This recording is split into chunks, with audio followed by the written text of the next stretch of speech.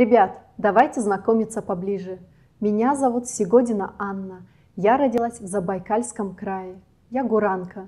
В 2009 году я окончила школу с отличием в Кузбассе. После 11 класса я уехала в Китай получать высшее образование. В Китае я окончила два университета.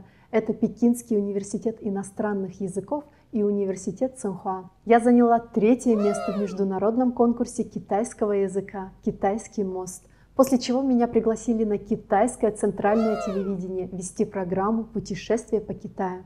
В 2018 году я учредила школу иностранных языков в городе Краснодаре. Также я работала в крупнейшей китайской компании Huawei маркетологом. А в 2014 году я сдала HSK Ханьи Шуйпин Каоши шестой степени на 278 баллов из 300. Ну, пожалуй, это все обо мне.